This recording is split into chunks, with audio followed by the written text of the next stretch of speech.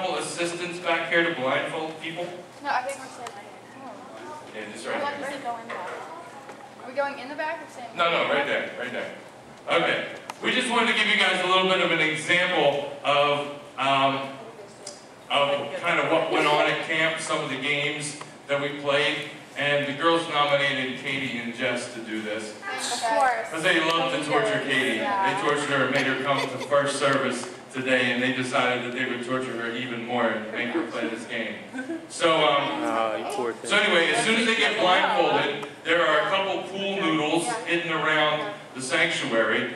Um, Katie's gonna have to follow Mike's voice, and Jess is gonna follow everybody else's voice. Oh, thank you. And they're gonna tell, and there are all the rest of the kids.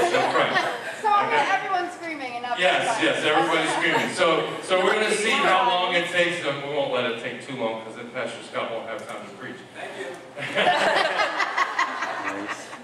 But we're going to make sure. All right, everybody blindfolded? Yep. No, not yet. Oh, Not just yet? kidding, I lied. Let me get this out your way a little bit. Okay. Okay, you can't see, right? Nope, I cannot see. Okay.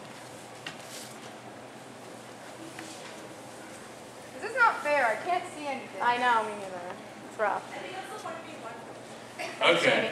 So I'm supposed to be led by everyone else except for Mike. Yes, yes. You're listening to all the other kids' voices, and Katie has to listen are to you Mike's Aren't you voice. supposed to be up there? I'm gonna. I've got figured out Because now we're gonna all Mike be yelling, you're you're kind not of a gonna hear couple, me. so that's why I made her listen to his voice.